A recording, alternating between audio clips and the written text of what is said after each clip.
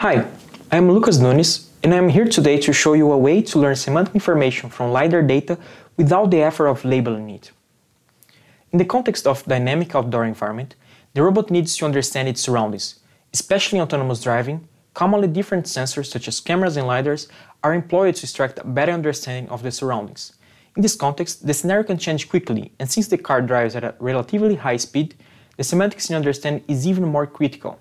Nowadays, learning-based methods play a main role in perception.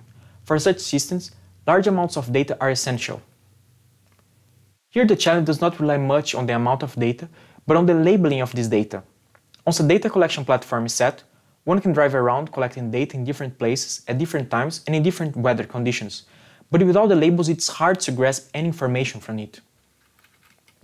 In this work, we propose a representational learning method to extract temporal consistent structural information from the scene without requiring any label. From the LiDAR data, we extract views of the same object at different points in time in an unsupervised manner and then train the model to extract a representation from this object which is consistent across the same object seen from different perspectives. After training a model with our approach, it can be fine-tuned to different downstream tasks, improving the model performance especially when few annotated data are available. In our approach, we start by extracting temporal views of the objects seen at different points in time. We first aggregate a set of n scans in a common coordinate frame, which can be done by registering the point clouds and getting their relative transformations. During the aggregation, we maintain the index information to later retrieve the individual scans from the aggregated point cloud. Next, we want to divide the scene into segments that will correspond to the objects in this scenario. If we look at an outdoor scene, the main connection between the objects is the ground.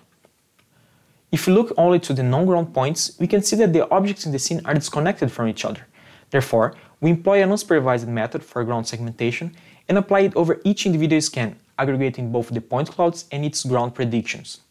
If we ignore the ground predictions in green, all the gray regions are individual objects or structures with different semantic information, which are relatively distant from each other.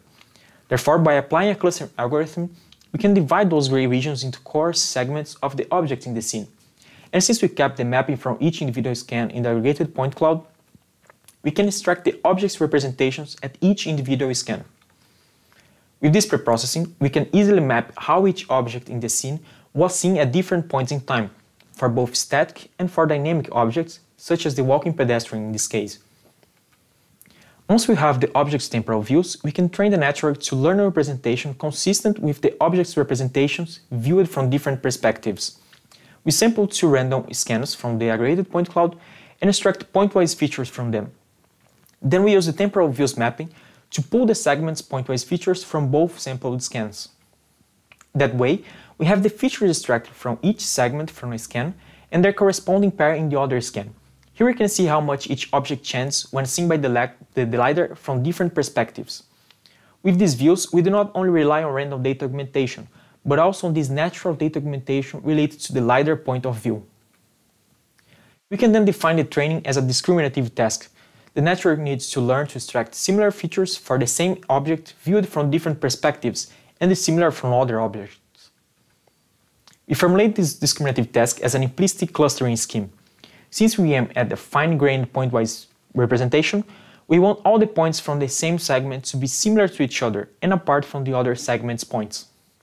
Given the two views of the objects, for one of them we use a two-layer transformer encoder as a projector to compute pointwise features, while for the other view we apply average pooling to extract a target mean representation for that object and use a one-layer transformer encoder as a projector. With the pointwise features from one view and the mean target representation from the other, we compute the loss to maximize the similarity between each point and its corresponding mean representation and minimize the similarity with all the other segments.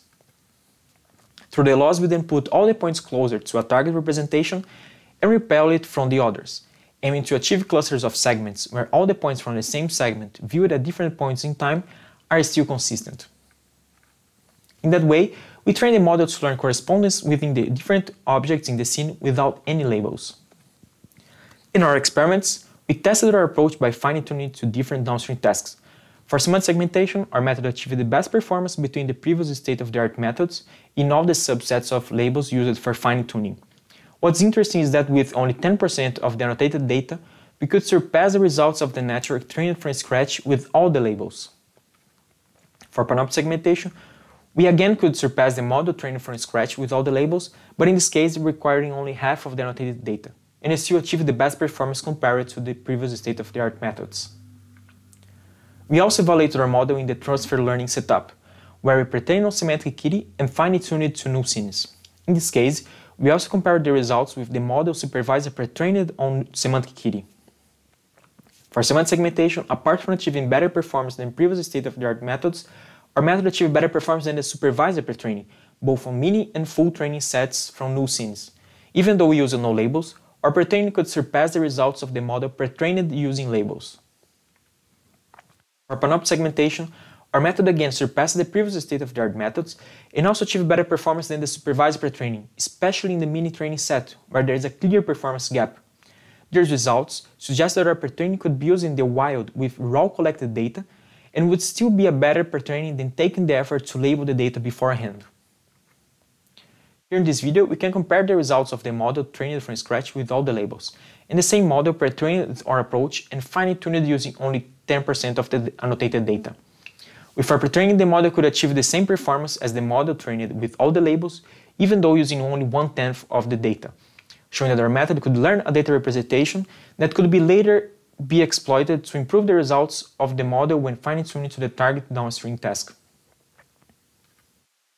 In summary, in this paper we propose a new representation learning method for LiDAR data. Our method exploits the LiDAR data characteristics to extract distinctive views of the same object viewed at different points in time to learn a temporal consistent representation. Before pre-training, we could boost the model performance during fine-tuning, requiring only one-tenth of the annotated data to surpass the results of the network trained from scratch with all the labels, when fine-tuning to semantic segmentation.